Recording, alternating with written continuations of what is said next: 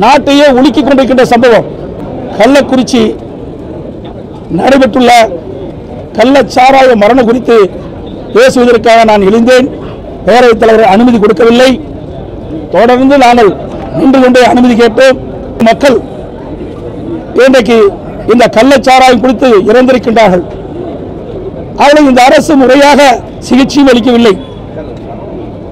இதையெல்லாம் பேச வேண்டும் என்பதற்காகத்தான் நாங்கள் அனுமதி கேட்டோம். ஆனால் சட்டப்பேரவைத் தலைவர் வலுக்கட்டாயமாக எங்களை வெளியேற்றி விட்டார் சட்டமன்றத்திலே நியாயம் கிடைக்கவில்லை.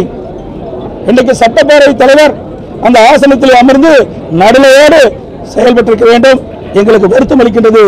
இப்படிப்பட்ட இப்படிப்பட்ட கொடுமையான நிகழ்வுகள் இன்றைக்கு நிகழ்ந்திருக்கின்றன. கிட்டத்தட்ட ஐம்பது உயிர்கள் இன்றைக்கு நாம் இழந்திருக்கின்றோம்.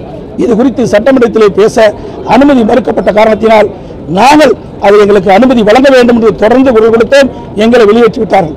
அது மட்டுமல்ல எங்களுடைய கட்சியினுடைய எதிர்க்கட்சி துணைத் தலைவர் அறிவிச்சார் உதயகுமார் அவர்கள் அங்கே தொடர்ந்து அனுமதி கேட்டு குரல் கொடுத்தார். அவரை அழாக்காக தூக்கி கொண்டு வந்து வெளியிலே அவரை கைது செய்கின்ற அளவிற்கு ஒரு அடக்குமுறையை நாம் பார்க்கின்றோம். இது வன்மையாக கண்டிக்கிறோம். ஒரு ஜனநாயக படுகொலை. நாட்டு மக்களுடைய உயிர் போய்க் கொண்டிருக்கின்றது. தினந்தோறும் பல உயிர்களை இழந்து கொண்டிருக்கின்றோம். இதை சட்டமன்றத்தில் பேசுவதற்கு அனுமதி மறுக்கப்படுகின்றது.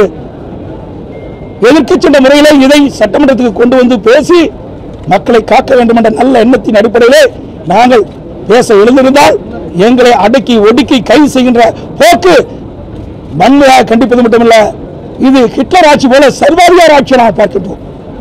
ஒரு சட்டமன்றத்தில் தான் இதை பேச முடியும். மக்களுடைய பிரச்சனை. அதுக்காக தான் எங்களை சட்டமன்ற உறுப்பினராக தேர்ந்தெடுத்திருக்கிறாங்க. எதிர்க்கட்சி என்ற முறையிலே மக்களுடைய குரல் சட்டமன்றத்தில் ஒழிக்க வேண்டும் என்பதுதான் எங்களுடைய லட்சியம் அதன் அடிப்படையில் தான் சட்டமன்றத்தை சட்டமன்றத்திலே கள்ளக்குறிச்சி கள்ளச்சாராயம் அருந்தி மரணமடைந்தவர்கள் குறித்து பேசுவதற்கு எங்களுக்கு அனுமதி மறுக்கப்பட்டது. வலுக்கட்டாயமாக எங்களை தூக்கி வெளியேற்றுவது மட்டுமல்ல எங்களுடைய எதிர்க்கட்சி துணைத் தலைவரை கைது செய்கின்ற போக்கு வன்மையாக கிடைக்குது.